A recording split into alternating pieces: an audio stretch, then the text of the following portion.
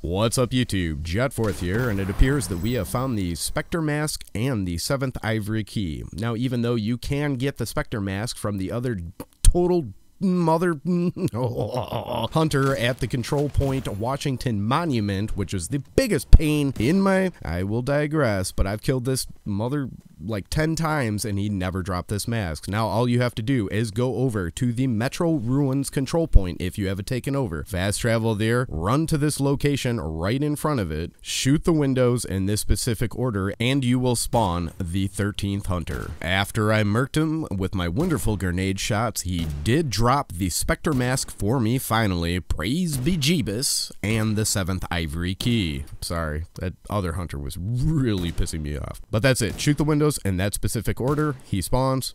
Murk him. That's it. You're done.